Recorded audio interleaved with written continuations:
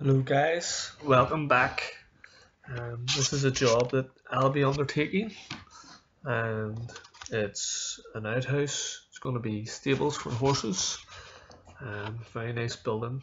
The guy made that clock him by himself and he made a really good job of that clock. Um, it's moulded out of plastic and stonemason's just working there at the, the arch at the front. He's also doing a very tidy job on it. it looks really well. Can't wait till he's finished there. Get a good picture of that there. Um, the woodwork around the front, really good job. Looks really tidy. This job's going to get um, sand cement scratch coat and it's going to be all rubbed up smooth with a step at the bottom.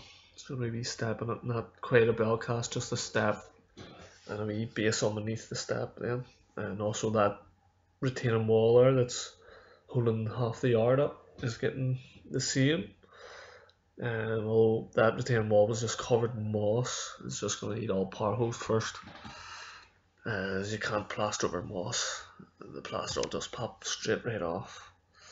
Um, it's another wee house that's getting the same sand cement coat, sponged up smooth. The roof's not on it yet, so that will need to be done first. So I don't fall in any manholes when I'm walking about. Um, yeah, that's the back side. I'll come back to that later. Yeah, so just climbing down here, guys. Um, trying not to trying to video and climb down a bit of scaffold same time not, not the easiest thing. Um, zooming across here, wanting to get inside here, show you the ceiling. Yeah, it's, it's the rafters of the the joists, and see that moss on the wall there and I've just dropped my keys which apparently if you have a lot of keys on your keychain or your keyring means you're getting older. And my keys definitely seem to be getting heavier so I must be getting older. Yep there's the ceiling guys. That's all going to get plasterboarded bonded and skimmed. There's going to be really nice features on the ceiling to have nice rounds on it and where the ceiling meets the wall I'm going to put a stop bead and a wee flick on it and then the walls on the inside are getting scratched and cement rendered up sponge floated smooth.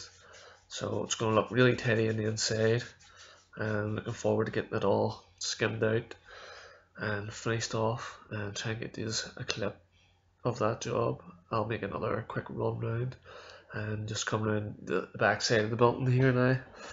Bit of video um, bit of a jungle here, so it's going to be quite awkward. We'll probably need to drop that scaffold and work off just trestles and planks. It'll be a lot handier. Um, yeah, there's a lot of wee walls and footry bits to be done and stuff, but we'll get there. Um, some nice wee concrete steps that I've noticed. They're gonna look really tidy when it's all plastered out, like. And this here wee part of the building. It's just going to be I think where he's going to store his his oil tanks. But yeah a couple of walls I have rubbed up and all. I have one just scratched on the left side there and stuff. You can see it's still drying out. Um, they're all double coated. That wall ha hadn't finished that wall there's wires still to be tracked in. So just give it a scratch coat. Don't really think you can see it too clearly guys but um, yeah, I'll get back to you all when I have it fully plastered out. Um, thanks for watching, guys. Um, give me a like and subscribe if you haven't already. Um, thanks, and I'll see you again soon.